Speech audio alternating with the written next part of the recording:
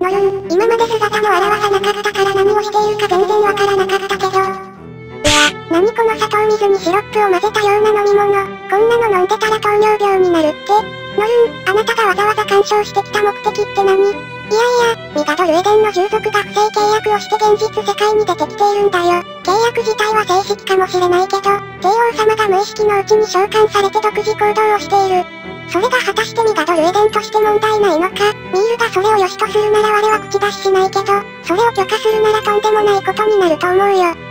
契約方式には確か、新明開示式、討伐式、任意式があるよね。しかもこの契約方式を取ってるのって揃いも揃って中精度や好感度が低い従属だ。例えば討伐式、これはいくらでも八百長ができる。新名と任意なんてもっと簡単だ。この連中が例えばミガドルエデン内ではミールが監視しているからといって、わざと契約して現実世界で帝王様を殺害する。そんなことが可能になるんじゃないのか。可能性はゼロ。とは言えない。ミール、あなたはミガドルエデン内でしか力を出せない岩場を山の対象。現実世界に関しては無干渉。だからこそミールと対となる我が存在するわけなんだけどさ。もうちょっと真面目に仕事してほしいんだよね。今二人出てきている。帝王様は認知していない。この現状になった時、我が関与してもいいんだな。問題ありません、としか言えませんね。それで今後問題が起きた時のことを考えると。ただし、その従属は不祥事を働いたとしても腐っても帝王様の従属です。ノルンのプリズンエデンの世界で私利私欲に使うのだけはやめてほしい。それは保証できないな。だってプリズンエデンは我の管轄だからさ。でもまあ我のお気に入りに入ればいい感じに構成して返してあげるよ。ミールから了承も得たし、それじゃあ我の好きなようにさせてもらおう。ノルン、最後に世間話程度だけど聞かせてもらえる。3年間、何してたの？特に何もしてないって言ったら、お前も全然仕事してないじゃん。って言われるだろうし。秘密。そもそも私は無償で何かをするってことができないし、強くても何もできないが本音なんだよな多分何もしてなかったな。あの顔、多分やっと自分の役割ができて楽しいんだろうなミール様、彼女とは面識があるのですか？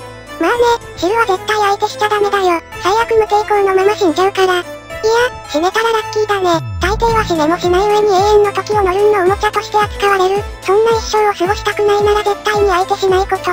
そこまでですか彼女は私と同じ世界の支配者、と言っても、ミガドルエデン、とは別の世界だけどね。シルはこの世界が帝王里様と月下様のつながりで生まれた世界なのは知ってるよね。もちろんです。この世界の住人なら8割は認知している常識です。ノルンはね、帝王パト様とメリア様のつながりで生まれた世界、プリズンエデン、と呼ばれるミガドルエデンと因果関係を持つ、もう一つの世界の支配者なの。そこの世界は名前の通り、監獄と地獄を象徴とした世界。その世界から生命は誕生せず、今いる住人は全てノルンが他の世界から連れてきた人物。その世界の住人に権利は全てノルンに委ねられ、死ぬこと、年を取ること、喜怒哀楽から全てノルンの支配下に置かれる。ノルンが傷を受けたら代わりに住人が受け、ノルンの精神に傷がついたら代わりに住人が傷つく。そして住人の能力や才能はノルンが全て使用し、時には住人を召喚し、絶対に死なない奴隷として使用する。私が知っているノルンの代表する能力は3つ。先ほど説明した神羅万象支配、監獄の王、家内支配、身与支配。神羅万象支配、監獄の王、発動条件はノルンに触れること、ノルンの視界に入ること。だけどノルンの視野は広く、直接的な視覚が存在しない。障害物があっても近ければ投資も可能。残り2つは、家内支配、対価を払うことでも叶えてしまう能力。もう一つの、身与支配、自身よりも現実的にした、もしくは自身の中でしたと思っている相手の権利を奪い支配する能力。どれも悪質だけど、家内支配の対価、実はこれは自身のプリズンエデンの住人の命を糧として自由自在に願いを叶えることができる。その上のルンが認めなければ住人は死なない。まさに命の永久期間。もう一つの、三好杯も発動条件が曖昧なのもあって回避可な上に能力や特性でどうにかなる話じゃない彼女は生きる災い。彼女を見たら最後自身の死を覚悟しなければならない。そんな方だよ。我が身がドルエデンとプリズンエデンの因果とは何ですか？ああ、それはこの二つの世界は互いに干渉し合えるんだよ。ミガドルエデンは従属が増える生命溢れた世界。プリズンエデンはそんな増えた従属で不正をしたものを送ったり、権利を持って、もちろん審判に一度かけてノルンの了承は必要になるけどね。ここの住人は死なない子がほとんどだから、死刑が罰にならないからね。プリズンエデンという世界があるのはそういうことなんだよ。恐ろしい話だ。この世界には一体どれだけ強者が存在するんだ。いやー楽しかったー。くっそ飲み物まずかったけど行ってよかった。あれ、どこ行ってたの？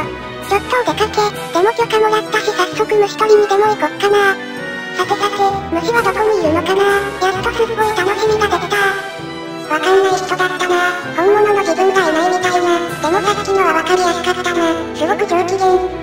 結構時間経ってるけどまだ時間かかるのかな。よし、準備万端。戻ったら早速みんなの状況確認をしないとな。主様、お力になれなくて本当に申し訳ございません。もっと私がパト様の求めれる答えを出していれば。そんなことないよノラ。俺がノラのアドバイスに適応できなかったんだ。好き嫌いしてちゃダメだからな。時間ある時にまた教えてくれよ。はい、今回の失敗は必ず次の糧にします。主様も目的達成おめでとうございます。現実の問題も応援しております。主様ならきっとうまくいきます。大変な時は私も助けに行きますよ。真面目だなノラは、今回ばかりは俺は見学だよ。頑張るのは俺以外のみんなだ。俺はみんなを一致団結させて頑張ろうって鼓舞するだけ。やじ馬して死にましたじゃ成功しても後味悪いだろ。だから自分の身は自分で守れるようにしただけさ。もうこの異変において俺の役割は終わったんだよ。だからみんなの成功を一番近くで見守るとするよ。ご謙遜を、主様が皆さんを導いたんじゃないですか。ご分を。よし、これで俺は準備万端と。すごく満足そうだね。能力使ってみたの。終えてる、ノルンはもういないのか。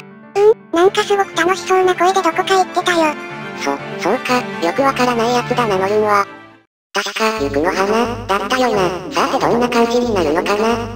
今思うと便利なもんだよな。だって倒すだけで能力を得られるし、味方オーラも増えるし、命かけただけの成果はある。ほう、行くの花。おい、これ、どうなってる？主、それはずるい。なんかすごく可愛い趣味だね。ありだと思うよ。なんじゃこりゃー。花はまだしもなんで髪まで赤くなってんの？水だからか関係あるのまさかパルルの赤さって能力の影響が強かったのかいやどうでもいいわ。まずこんな格好で戦えねえよ。どうしよう。使いたくない能力ナンバーワンに速攻でランクインしたんだけど。女の子の中に入ってても違和感ないよ。私はいいと思うよ。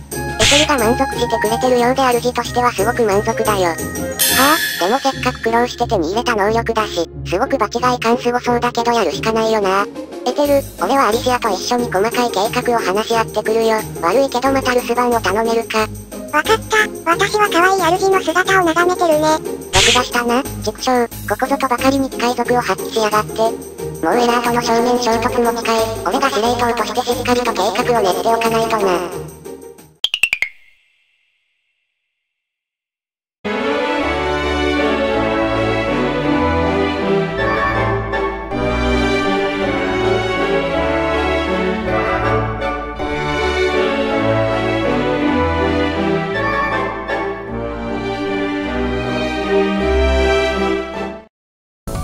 視聴ありがとうございました。動画は楽しんでくれましたか？くれましたか？